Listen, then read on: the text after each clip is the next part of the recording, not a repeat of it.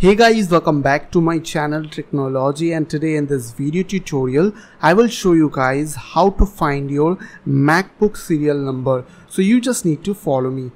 There are two ways by which you can check your MacBook serial number. One is graphical user interface another one is using your command line.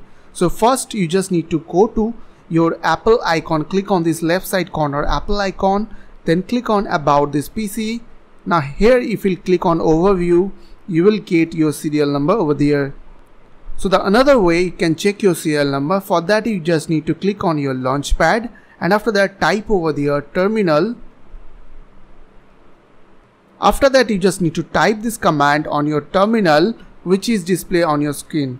So now you just need to click on return button, press enter button and you will get your serial number over there. So I hope this quick tutorial will really help for you and please don't forget to click on the subscribe button, like button and share button and if you have any questions or question then comments down below. I will see you guys in the next one next video. Till then bye bye take care.